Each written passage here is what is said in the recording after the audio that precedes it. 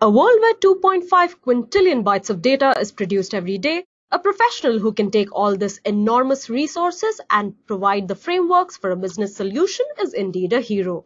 Hi all, I'm Upasna from Edureka and in this module we are going to talk about how to become a big data engineer. Before we begin, let's discuss the agenda for today. So first of all, we're going to talk about who is a big data engineer. We're going to basically talk about this role or job description in specific. Then we're going to talk about what does a big data engineer do, followed by a few roles and responsibilities. Then we're going to talk about the skills required to become a big data engineer. And finally, I'm going to take you through the learning path. So without much ado, let's get straight into the module. So who's a big data engineer? Now, every data-driven business needs to have a framework in place for the data science and data analytics pipeline. And a data engineer is the one who's responsible for building and maintaining this framework. Now, these engineers must ensure that there is an uninterrupted flow of data between servers and applications. So in simple words, a data engineer builds, tests, maintains data structures and architectures for data ingestion, processing and deployment of large-scale data-intensive applications. Now, data engineers work in tandem with data architects, data analysts, and data scientists. So they must all share these insights to other stakeholders in the company through data visualization and storytelling. But what does a big data engineer do exactly? Now, the most crucial part of a big data engineer is to design, develop, construct, install, test, and maintain the complete data management and processing systems. They are basically the ones who handle the complete end-to-end infrastructure for data management and processing. They build a pipeline for data collection and storage and funnel the data to data analysts and scientists. So basically what they do is they create the framework to make data consumable for data scientists and analysts so they can use the data to derive insights from it. Note that the data engineers are the builders of data systems and not those who mine for insights. So the data engineer works more behind the scenes and must be comfortable with other members of the team producing business solutions from this data. Now all their responsibilities revolve around this. They need to take care of a lot of things while performing these activities. Hence, one of the most sought after skills in data engineering is the ability to design and build data warehouses. This is where all the raw data is collected, stored, and retrieved from. Without data warehouses, all the tasks that a data scientist does will become obsolete. It is either going to get too expensive or very, very large to scale. Now, data engineers should always keep in mind that the system which he or she builds needs to be scalable, robust, and fault tolerant so that the system can be scaled up without increasing the number of data sources and can handle a huge amount of heterogeneous data without any failure. Now imagine a situation wherein the source of data is doubled or tripled but the system cannot scale up. Will it not cost a lot more time and resources to build the same system again, which is suitable for this kind of intake? Exactly. This is why the big data engineers have a role here. Next, he or she is the one that handles the extract, transform, and load process, which is basically the blueprint for how the collected raw data is processed and transformed into data ready for analysis. Now you're going to acquire a lot of data from different sources. How do you bring them together to one platform? ETL is your answer. Apart from all this, a data engineer should always aim at deriving insights by acquiring data from new sources. Some of the responsibilities of a data engineer also include improving data foundational procedures, integrating new data management technologies, and the software into existing systems and building data collection pipelines. And finally, one of the major roles of a data engineer is to include performance tuning and make the whole system way more efficient which is pretty self-explanatory if you ask me. Now, most of us have some idea about who a big data engineer is, but there's still some confusion about their responsibilities. Now, this ambiguity further increases when we gain more information about the role. Now, let me help you debunk all your queries about it. So let's talk about some big data engineer responsibilities. First up, we have data ingestion. Now this is associated with the task of getting data out of the source systems and ingesting it into a data lake. Now a data engineer would need to know how to efficiently extract the data from a source, including multiple approaches for both batch and real-time extraction, as well as needing to know about the incremental data loading, fitting within small source windows, and parallelization of data loading as well. Now, another small subtask of data ingestion is data synchronization. But because it's such a big issue in the big data world, we are going to talk about it. Now, since Hadoop and other big data platforms don't support incremental loading of data, a data engineer would need to know how to deal with detecting changes in the data source, merge and sync changed data from sources into the big data environment. Next, we have data transformation. This is basically the T in the extract, transform, and load that we had discussed earlier. It is basically focused on integration and transformation of data for a specific use case. Now, a major skill set here is the knowledge of SQL. As it turns out, not much has changed in terms of the type of data transformations that people are doing now compared to purely relational environments. Now, imagine all this data that you've acquired from various sources. What would you have to do to make them all palatable in the same platform? You need to transform that data and this is what a data engineer does here. And finally, we have performance optimization, which is one of the tougher areas because anyone can build a slow performing system. The challenge is to build data pipelines that are both scalable and efficient. So the ability and understanding of how to optimize the performance of an individual data pipeline and the overall systems are a higher level of data engineering skill. Now, for example, big data platforms continue to be challenging with regard to query performance and have added complexity to a data engineer's job. In order to optimize performance of queries and creation of reports, the data engineer needs to know how to denormalize, partition, and index data models. He also needs to understand tools and concepts regarding in-memory models and OLAP cubes. Now let's quickly move ahead and look at the required skills to fulfill these responsibilities. Now we'll be going through these skills in a clockwise order, so starting with big data frameworks. Now with the rise of big data in the early 21st century, a new framework was born, and that is Hadoop. All thanks to Doug Cutting for introducing this framework, it not only stores big data in a distributed manner, but also processes the data parallelly. There are several tools in the Hadoop ecosystem which cater differently for different purposes and professionals. For a big data engineer, mastering big data tools is a must. Some of the tools which you will need to master, first of all, you have HDFS, which is the storage part of Hadoop. Being the foundation of Hadoop, knowledge of HDFS is a must to start working with Hadoop framework. Next, we have Yarn, which performs resource management by allocating resources to different applications and scheduling jobs.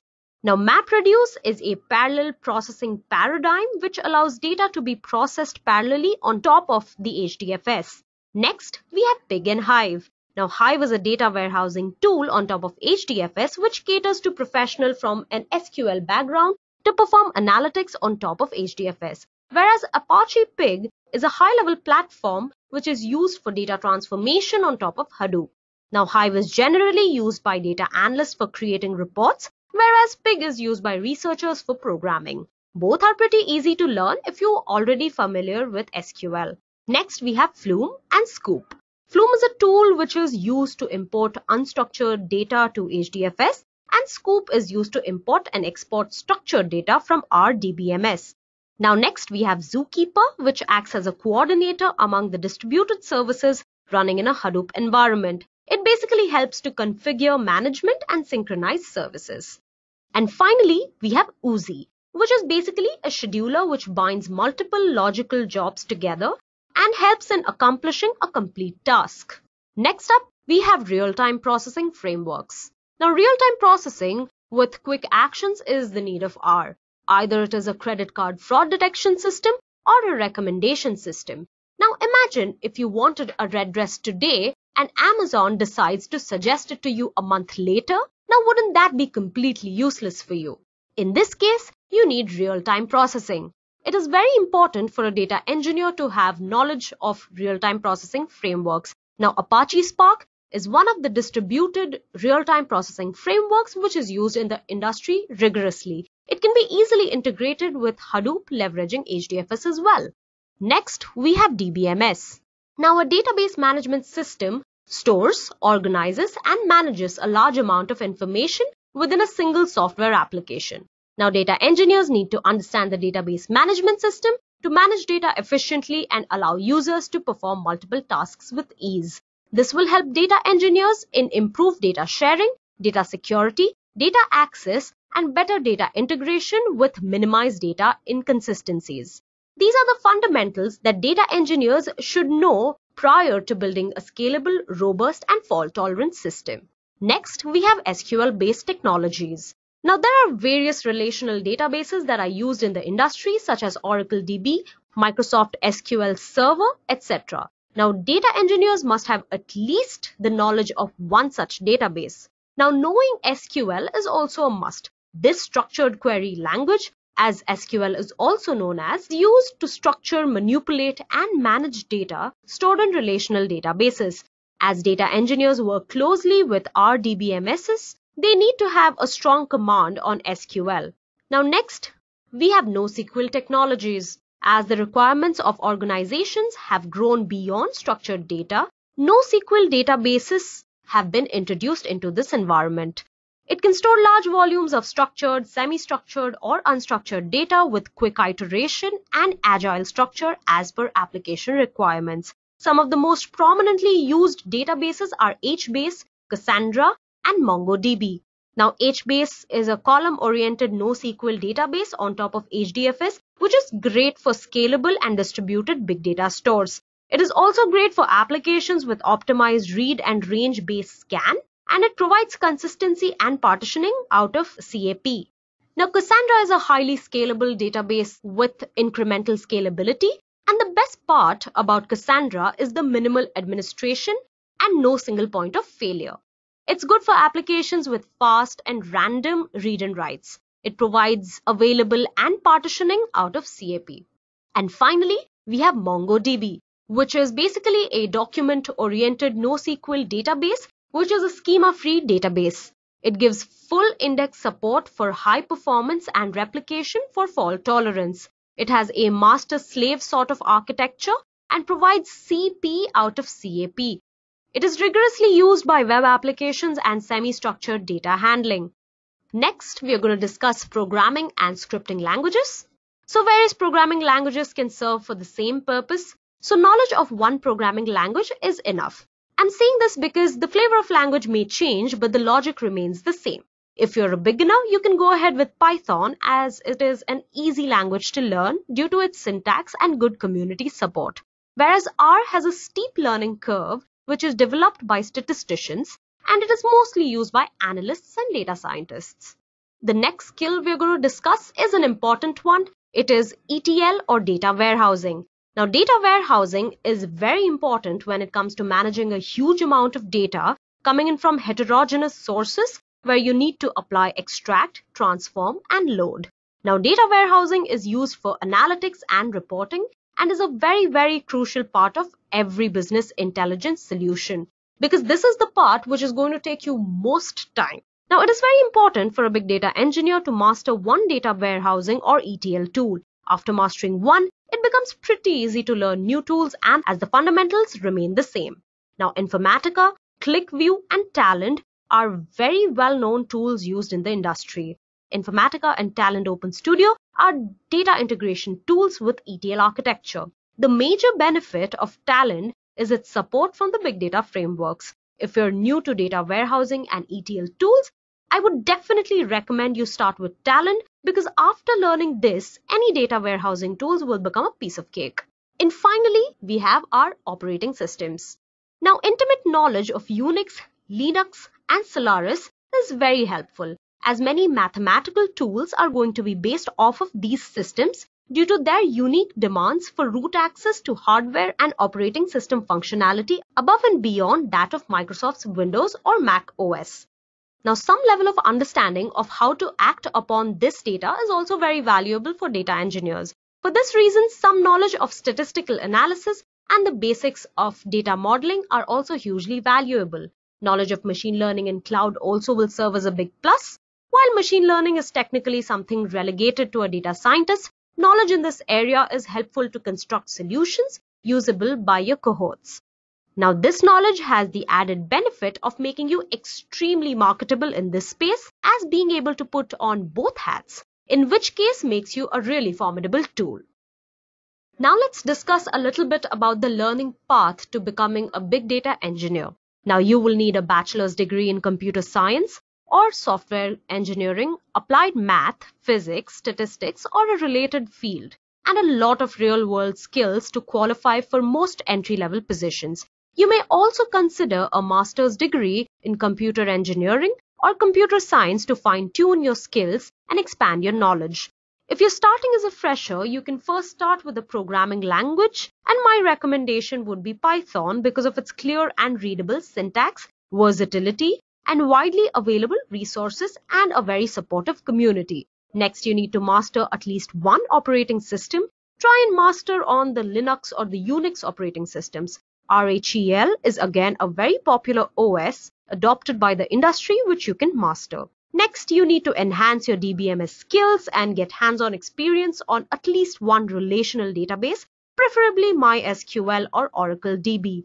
You should be thorough with database administrator skills like capacity planning, installation, configuration, database design, migration, performance, monitoring, security, troubleshooting, as well as backup and data recovery. NoSQL databases should be your next skill to focus. This will basically help you understand how to handle semi and unstructured data. Next up, you have your ETL and data warehousing tools, where you'll have to understand on how to extract data from various sources, transform and clean your data according to the use case, and then load your data into a data warehouse. This is a very important skill which a data engineer should possess now 60% of data engineer tasks will basically revolve around this. Now we are at an age of data revolution where data is the fuel of the 21st century. Various data sources and numerous technologies have evolved over the last two decades and the major ones are all NoSQL databases and big data frameworks. So with the advent of big data in data management system, the data engineer now has to handle and manage big data and their role has been upgraded to a big data engineer. Now, due to big data, the whole data management system is becoming more and more complex. But that does not mean it's becoming less fun. So now a big data engineer has to learn multiple big data frameworks to create and design the processing systems. This should be your next skill to focus on. Next, you should be concentrating on learning real-time processing frameworks such as Apache Spark, which is basically an open source cluster computing framework for real-time processing. And when it comes to real-time data analytics, Spark stands as the go-to tool across all solutions. Today, Spark is being adopted by major players like Amazon, eBay, and Yahoo. Many organizations run Spark on clusters with thousands and thousands of nodes, and this calls for a huge opportunity. Next in your career path, you should definitely learn cloud, which will serve as a big plus. A good understanding of cloud technology will provide the option of storing significant amounts of data and allowing big data to be further available, scalable, and fault tolerant. Now, the path to being a big data engineer may be long and strenuous, but with some structure and guidance, you can definitely make an entrance into it. With that, I conclude my session. Thank you and have a great day ahead.